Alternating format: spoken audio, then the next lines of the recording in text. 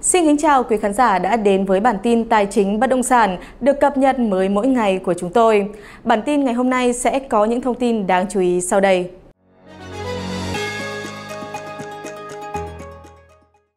Trước thực trạng hàng loạt cửa hàng bỏ trống, treo biển cho thuê trên các tuyến phố trung tâm Hà Nội, thành phố Hồ Chí Minh, nhiều chuyên gia cho rằng làn sóng trả mặt bằng sẽ tiếp tục tăng cao vào cuối năm 2023 nếu như doanh nghiệp không được hỗ trợ nguồn vốn, giảm giá thuê mặt bằng kinh doanh.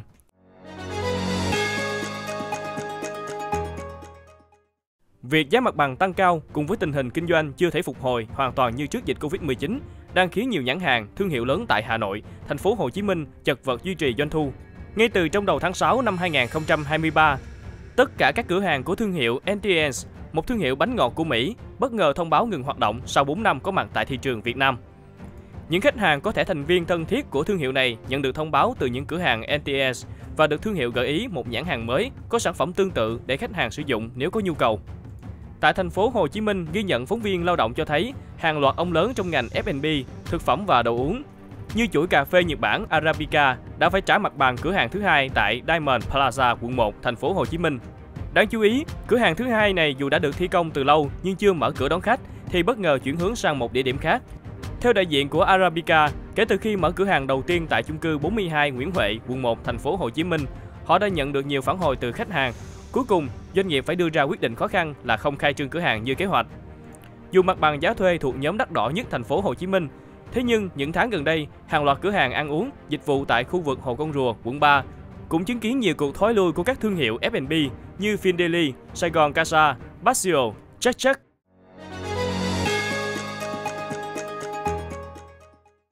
Theo đại diện nhiều nhãn hàng, doanh nghiệp tại Hà Nội và thành phố Hồ Chí Minh trong những tháng vừa qua, xu hướng người tiêu dùng thắt chặt chi tiêu ngày càng rõ nét.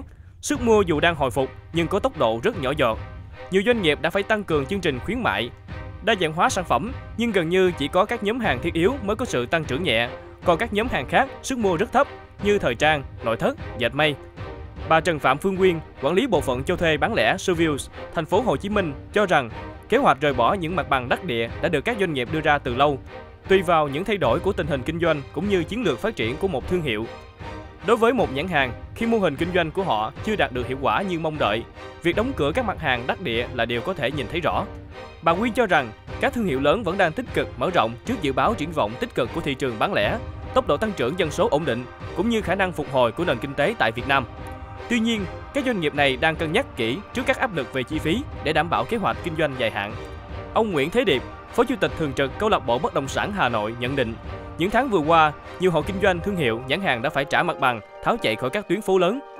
Theo ông Nguyễn Thế Điệp, ngành bất động sản ảm đạm, đóng băng đã tác động lớn đến sức mua sắm của nhiều cửa hàng dịch vụ. Toàn bộ nền kinh tế khi tiêu dùng giảm rõ rệt.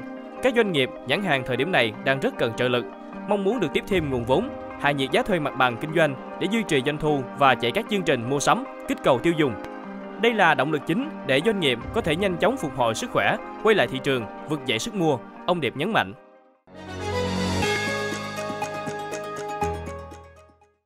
Chuyên gia nhận định làn sóng trả mặt bằng sẽ tiếp tục tăng cao vào giai đoạn cuối năm và chỉ khởi sắc trở lại vào năm 2024. Làn sóng trả mặt bằng thuê đang khiến hầu hết con đường ở trung tâm thành phố Hồ Chí Minh từ Đồng Khởi, Lê Lợi đến Nguyễn Huệ, Hai Bà Trưng, Bùi Viện chìm trong cảnh ảm đạm. Trong khi các thương hiệu lớn lần lượt tháo chạy giá thuê vẫn đang ở trên trời, thậm chí nhiều nơi còn tăng 15 đến 20%. Trong quý 1 năm nay, nhu cầu tìm thuê nhà mặt phố thành phố Hồ Chí Minh đã có xu hướng giảm, nhất là ở các khu vực trung tâm. Theo đó, lượt khách tìm thuê nhà phố quận 1 đã giảm 40%, quận 3 giảm 45%, các quận ngoài trung tâm khác là quận 7 giảm 52%, quận 10 giảm 48% và quận Phú Nhuận giảm 50% so với quý 4 2022. Đáng chú ý, trong quý cuối năm ngoái, nhu cầu tìm thuê nhà phố nội thành thành phố Hồ Chí Minh cũng đã liên tục giảm mạnh. Đà suy giảm kéo dài từ quý 2 2022 đến hiện tại vẫn chưa có dấu hiệu phục hồi. Dù nhu cầu tìm thuê thấp, giá chào thuê mặt bằng kinh doanh tại thành phố Hồ Chí Minh vẫn tăng mạnh, nhất là ở khu vực trung tâm. Giá thuê nhà mặt phố tại quận Nhất đã ghi nhận mức tăng 17%, quận 3 tăng 13%, quận 7 tăng 11%, quận 10 tăng 2% và quận Phú Nhuận tăng 9% so với quý trước. So với thời điểm năm 2019, giá thuê mặt bằng tại các tuyến đường như Lê Lợi, Hai Bà Trưng, Bùi Viện, quận Nhất, Nguyễn Gia Trí, quận Bình Thạnh, Phan Xích Long, quận Phú Nhuận, và Nguyễn Thị Thập, quận 7 đều tăng cao. Mặt bằng khu vực trung tâm phổ biến ở mức 120 đến 200 triệu đồng một tháng, trong khi mức giá khu vực bán trung tâm dao động trong khoảng 85 đến 100 triệu đồng một tháng. Theo các chuyên gia, đà tăng giá này đang làm nghiêm trọng hơn thực trạng ế ẩm của các mặt bằng kinh doanh cho thuê tại trung tâm nói riêng và thị trường nhà phố cho thuê thành phố Hồ Chí Minh nói chung. Chia sẻ với tri thức trực tuyến, ông T, giám đốc công ty bất động sản lý giải, chủ nhà sau khoảng thời gian giảm giá trong dịch Covid-19 đã muốn bù đắp lại những khoản mất mát. Các chủ nhà nhìn chung sẽ sẵn sàng giảm giá vì một lý do bất khả kháng như Covid-19. Còn lại, họ không chấp nhận giảm giá vì sẽ rất khó tăng giá lại trong tương lai. Chủ nhà mặt phố thường không áp lực về dòng tiền, do đó họ muốn giữ giá thuê vì giá thuê sẽ ảnh hưởng rất lớn đến giá bán. Nghịch lý thị trường này còn đến từ độ trên trong tính linh hoạt với thời cuộc của chủ nhà và doanh nghiệp kinh doanh. Thông thường, các đơn vị bán lẻ và F&B chọn các tuyến phố trung tâm để tăng tính nhận diện cho thương hiệu. Khi kinh tế khó khăn, đây sẽ không còn là ưu tiên hàng đầu vì giá thuê đắt đỏ. Thay vào đó, họ có xu hướng dịch chuyển về khu vực bán trung tâm, những nơi có traffic tốt, giá thuê thấp hơn nhưng vẫn đảm bảo hiệu quả về kinh doanh.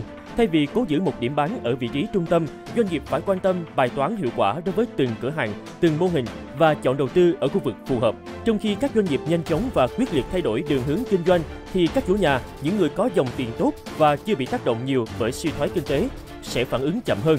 Sau một thời gian dài, mặt bằng bị bỏ trống, họ sẽ tính toán lại tổn thất và từ đó thay đổi phương án tiếp cận với các đơn vị kinh doanh. Sau dịch Covid-19, các hợp đồng thường được ký sau thời điểm tháng 10 2021. Vậy nên, ông Tuấn nhận định làn sóng trả mặt bằng vẫn chưa dừng lại và sẽ tiếp tục dâng cao vào giai đoạn cuối năm nay. Sau khi nhà nước có những điều chỉnh liên quan đến lãi suất và các chính sách tháo gỡ cho thị trường bất động sản, thị trường cho thuê nhà mặt phố sẽ khởi sắc hơn vào năm 2024.